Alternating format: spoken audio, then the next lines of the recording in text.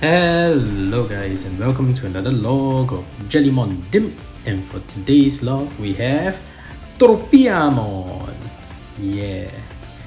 And we've seen Tropiamon before and it's nice to see him again but before we continue with today's log I just have to say if you're a fan of Digimon or raising virtual pets you've come to the right channel because this channel focuses on raising Digimon and I upload at least twice a week so if you like such content go ahead and shoot some Tropia's poison spores at the like and subscribe button and turn on all notifications so you don't miss any of my uploads.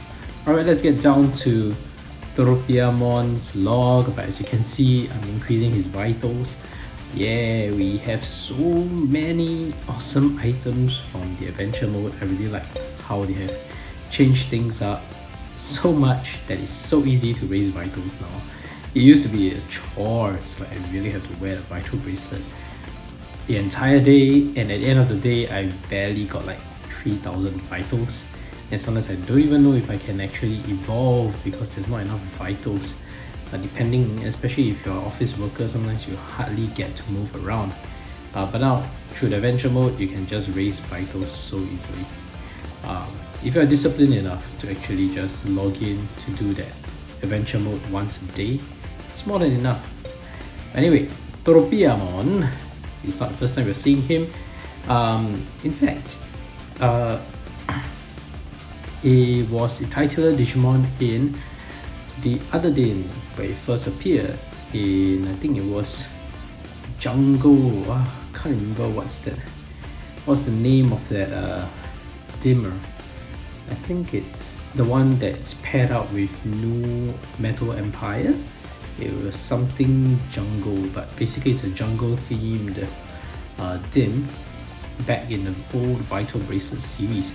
And that was one of the better designed one in the older series as well. As you can see the sprite quality is very good. Before I continue with uh, commenting on the sprite quality we can do that on the bracelet. When we see it in action on the bracelet uh, let's look at its profile and it is a vegetation Digimon living in the deepest jungles. Tropiamon is thought to have taken in data of various fruits and vegetation to digivolve into its splendid appearance. Its intense body odor is like a mix of all kinds of fruits and is strong enough to cause an uninitiated the uninitiated to pass out. The droplets secreted from its leaves that act as wings are toxic enough to melt iron.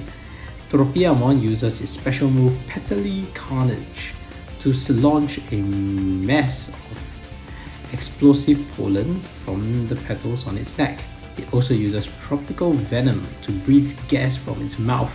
This is an intense poison fermented within its body that melts anyone who inhales it from the inside out. Very morbid, very sinister, and it was actually featured in Ghost Game. So it did appear in the Ghost Game anime, and yeah, it was really poisonous and toxic. I'm not gonna spoil the show for you if you haven't watched it. It was quite cool when he appeared, and yeah, morbid is a word. Uh, if you think about it, it's very similar to Meganium um, from Pokemon, uh, except it is the most intimidating and sinister looking version of uh, Meganium for those who are familiar with that Pokemon. Yeah, um, it's a it's a floral dinosaur looking monster and definitely something you don't want to mess with. Um, oh, it's a little too scary to own as well. But yeah, we have raised Tropiamon. It's nice to see him again, and it's nice to see him on the bracelet. Let's see him on the bracelet as well. And sending him to the bracelet, Tropiamon. See ya.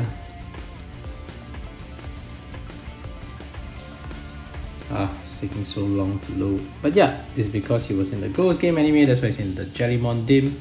So, quite nice to see you again. His sprite is cool. Hello, Toropiamon on the bracelet. As you can see, his sprite quality is awesome. For sprite that was in the older bracelet generation, I think this is one of the better design ones. Super detailed, you can tell. It looks like it belongs to the BE memory sprite quality, um, the generation of the BE memory sprites. But yeah, they did they did they did well on that one. I think almost all of the sprite designs in that dim was very well designed as well. So, so I wonder if they're done by the same artist. Uh, you know, compared to those that were poor in quality, uh, versus those that were really good. This background is very appropriate for Toropiamon as well. He's sleeping now.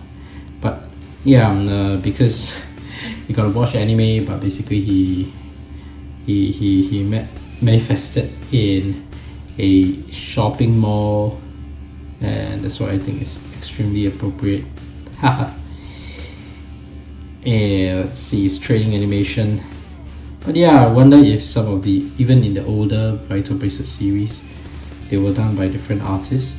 Probably is explain that could explain the difference in sprite quality across different dims that's him training. Well very heavy dumbbells you got there Toropiamon. But you look huge in the anime so I'm not surprised. Uh, probably very big and very strong dash animation. Wow look at it. It looks good. When it's running it looks good as well. Oh there's a it looks like there's a lot going on and they managed to capture it still. So I think it's good good job well done there. Um, let's see its battle animation. Oh yes and you might have noticed why am I using just normal vital bracelet that I have unfortunately my special selection bracelet with the gold Botamon uh, logo you know the one that's from the volcanic blaze and the um, rampage of the beast set the button started to break on me. I'm so surprised. I used it for barely a few months and it's, yeah, it's fragile. It's fragile.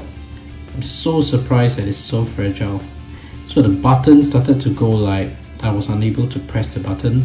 I, I, I could press the button, but I, I couldn't feel that rebound, you know, you're supposed to feel that rebound um, where it goes back. That is a spring behind the button, sorry, I think that's the right word. Oh yes, Toropiamon's Mega Attack. Boom! Some poisonous green wind. And we missed. But it's okay. Yay! He might actually lose his battle. It's fine, it's for the sake of documentation anyway. Um, oh, Fenriloogamon to the rescue. And yeah, we won the battle. Good job there. But yeah, sadly, the button was it was still responding but I could feel that the spring is not really there anymore so just to not take the risk of having my Digimon stuck in the bracelet where the button doesn't work I transferred all of them out and I decided to go back to using my black vital bracelet. I had to switch the straps again because I did change the straps to the Loogamon strap and it's just too loud to wear it for normal usage. So I switched it back to the normal Vital Bracelet black strap. And so we have we're looking at the usual Vital Bracelet black that I was using before the special selection without the gold buttons. Oh man so sad I'm so surprised that you know these things don't really last so just I know this is a little lengthy for today's log but I've always wondered why the when you check the time, when we try to change the time, um, it doesn't go beyond 33, you see? you see, it, I can't even go to uh, 33, you see? It just goes to 32 and then it's just restarted. But I think even Bandai knows that this can't last for more than 10 years. so uh, that's its time limit guys and clearly it didn't, it didn't even last me 10 years. It lasted me a few months and the buttons really gave way. Maybe I maybe it's because I've been using it so intensively, uh, raising every Digimon in the BE memory. But well, that is it um, we're back to using black hopefully this doesn't give away on me. I do need this to function longer. There are so many more DIMMs or BE memories coming our way.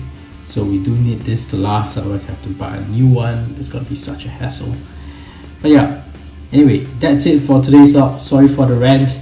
And if you haven't already please shoot some poison gas at the like and subscribe button on turn on all notifications so you don't miss any of my uploads thank you for watching and see you in the next video.